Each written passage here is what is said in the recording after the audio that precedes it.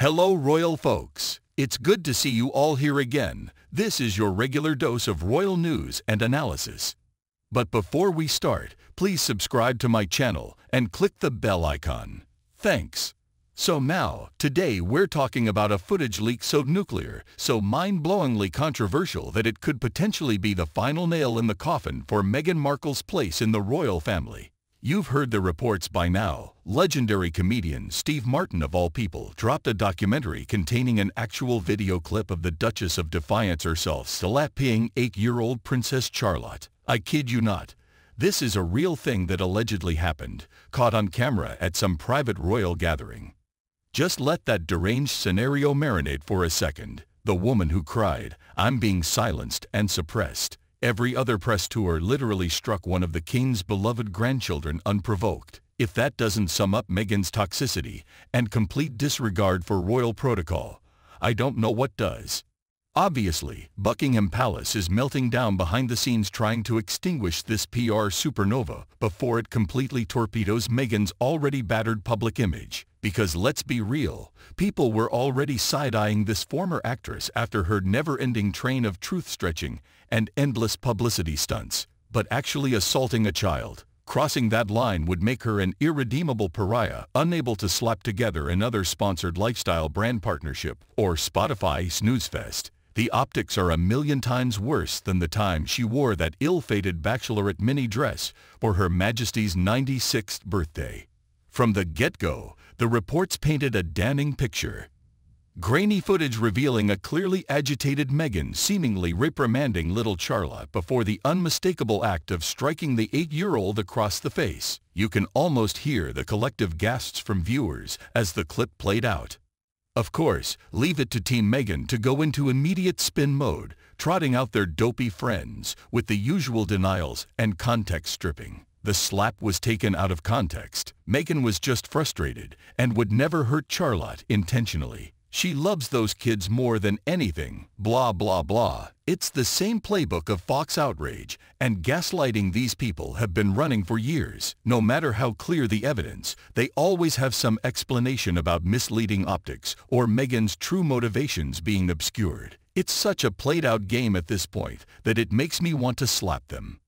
What's most shocking to me about this Steve Martin bombshell if true, is how utterly brazen Meghan's actions would have to be for this to even happen. We're not talking about a simple verbal lashing or impulsive shove out of sight of cameras. No, this reported incident depicts the Duchess of Delusion full-on slapping the face of the king's granddaughter. That's an insane level of privilege and protection she must have assumed for herself within the firm to not just lose her temper like that, but to actually strike a child of the current monarch out of anger or frustration. It screams of how deeply insulated and excused Meghan's behavior patterns were behind palace doors. We know how imperious and tantrum-prone she can be from all the turnover horror stories at Frogmore and Montecito. But to translate those diva antics into physical altercations with royal blood hairs is some next-level entitlement only the most deluded and unchecked narcissist could have managed.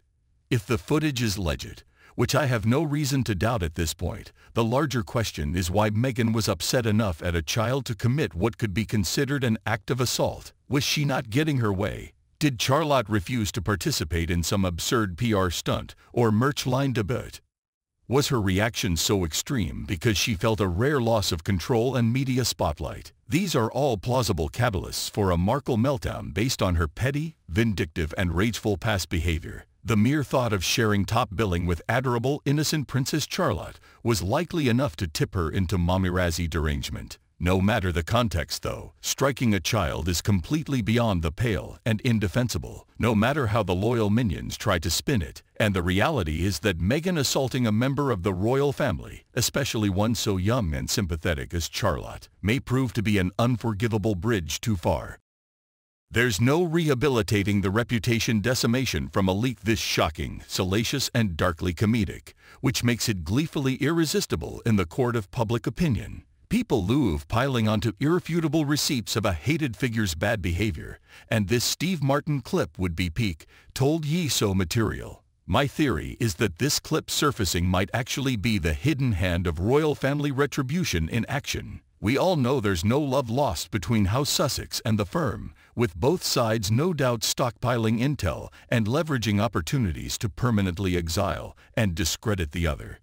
So what if this Martin doc presented the perfect chance for the palace to strike back after Meghan's years of race-baiting allegations and royal racism claims? Slipping in a damaging clip of her assaulting a child would certainly constitute a bombshell retaliation against an adversary running dangerously low on public sympathy. You already know the Crown loyalists are digging in for a long, ugly war against Meghan's camp of sycophantic stands and deflectors. Leaking undeniable evidence of her unbecoming conduct toward a child could be phase one of turning the star-studded courtiers against her for good. It would certainly put a damper on her plans to keep selling access and branding herself as a benevolent humanitarian.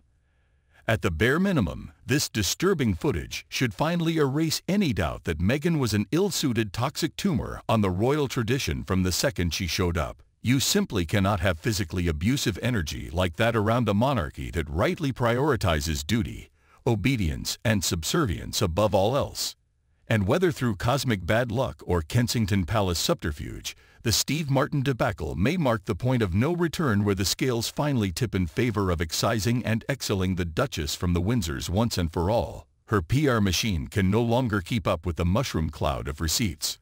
For someone desperately trying to rebrand herself as a globally revered sage, slapping an eight-year-old girl is about as bad as it gets from an optics standpoint. This may have been the leak that broke the Markle brand beyond repair irreversibly cementing her as a persona non grata to the very institution of tradition she once sought entry into. Can you imagine the atmosphere in Montecito while this storm brews? Meghan's likely having a full white snake meltdown as she realizes just how thoroughly cooked her credibility now is. On the other hand, Harry probably feels a weird mix of calmness and relief that maybe, just maybe, this will force Meghan's hand to retreat into permanent exile. Wouldn't that be something if Steve friggin Martin's random documentary ended up being the straw that broke the royal family's back and banished the Markles to permanent Z-list purgatory? Talk about an all-timer from the legendary Wild and Crazy Guy. That's a Netflix special just waiting to happen. So in summary, Bombshell, Meghan might be cancelled for slapping Princess Charlotte on video based on footage mysteriously leaking into Steve Martin's new vanity project. If true, it may be the final bridge too far for the perpetually aggrieved royal defector's PR machine to resuscitate. From here, it's either a long, ugly war against the palace establishment or slinking off into O.J. Simpson levels of ubiquitous disgrace and global cancellation. What a world we live in! So this is it from my side. What do you think about this new guys? Please share your thoughts in the comment and let me know what you think. Until then, thanks for watching. We'll see you again with some more fascinating news about the royal family. Thank you.